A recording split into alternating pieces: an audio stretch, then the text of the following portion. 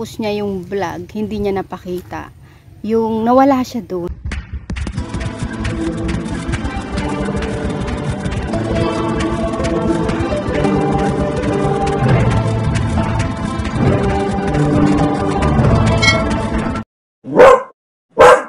Magandang umaga, Luzon, Visaya at Mindanao at sa lahat ng mga Pilipino sa mampanig ng mundo. Magandang magandang araw. Pag-usapan natin ngayon ay si Master Gal. Umahanga ako dahil talagang siya yung unique na vlogger at ang binablog niya ay kakaiba. Kaya ah, hindi basta-basta sa mga pangkaraniwang vlogger ang kayang gawin yung mga binablog niya. No, hanggang nga nakilala na siya ni Jessica Soho dito eh. Tapos sa kabila ng lahat ay nababas pa rin siya sa kanyang ah, content. Oo, nababasa ko at sumasagot. Mm, nagtataray si Master Gala. O, di ba? Nagtataray siya.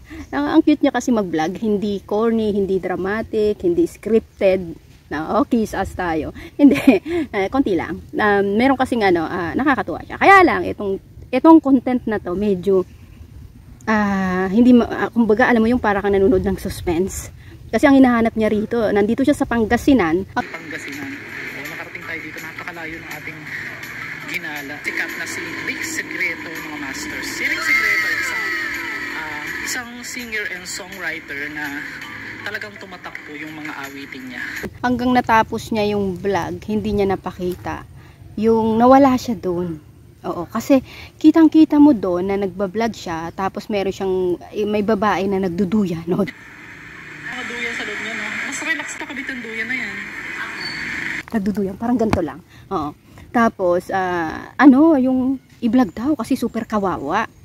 No? So, sige, sunod-sunod siya eh, makita mo doon. Hanggang yun nga, nakita niya nga na na-stroke yung supportorero. Supportorero ba? Supportorero. Basta ganun. Ah, nakita niya yon Ngayon, nung nakita niya, eh, ah, nakakagulat lang doon yung misis, no? Yung misis, eh, gustong-gusto nga daw nila talagang makahanap ng vlogger para matulungan sila.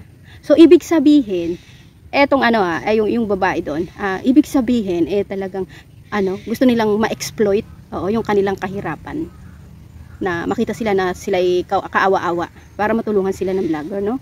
Na siguro napapanood nila sa iba nakapagtulungan ng ibang vlogger ay napapagawa ng bahay o napapagawa ng ganito. Yung iba naman kasi aksidenteng nakikita pero sila talagang yung iba hindi nila alam na vlogger yun o nabablog sila.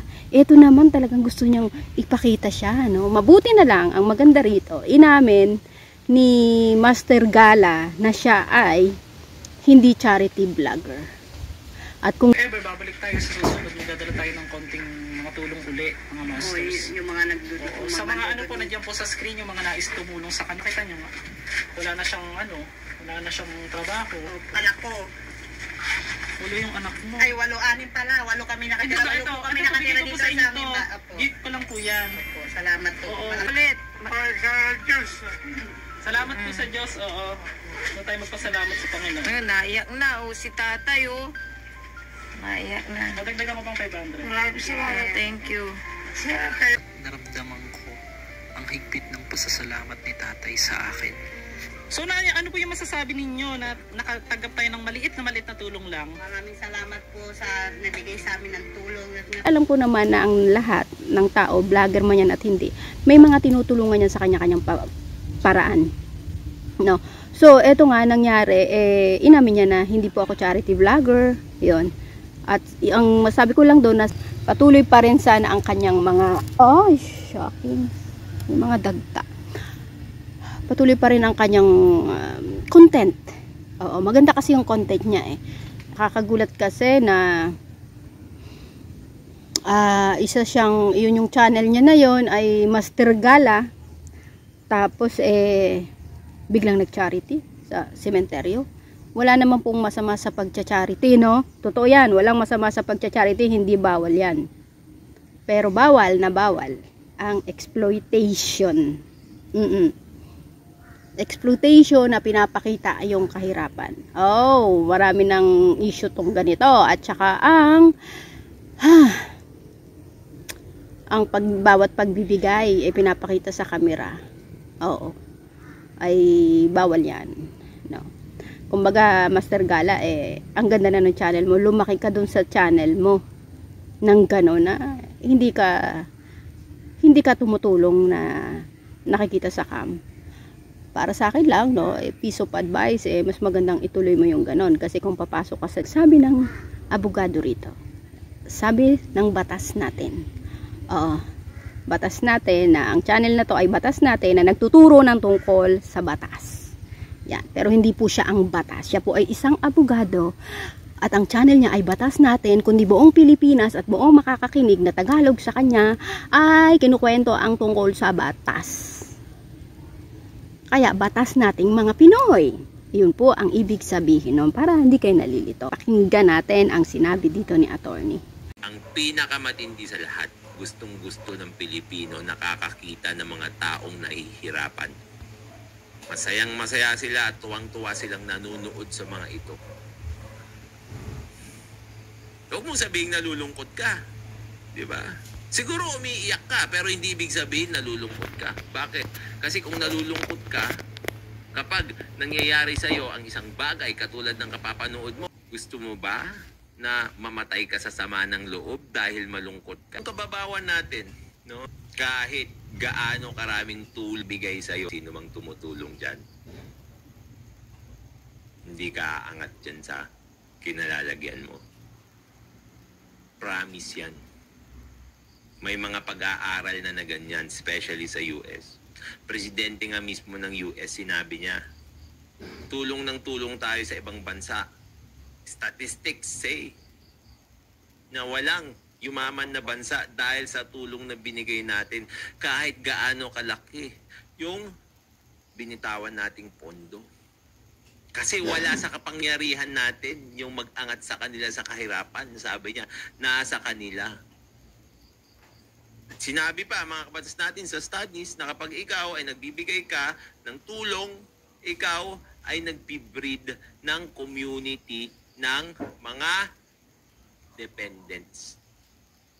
Mga tao na umaasa lang, mga tao na hindi masustain yung sarili, mga tao na inutil.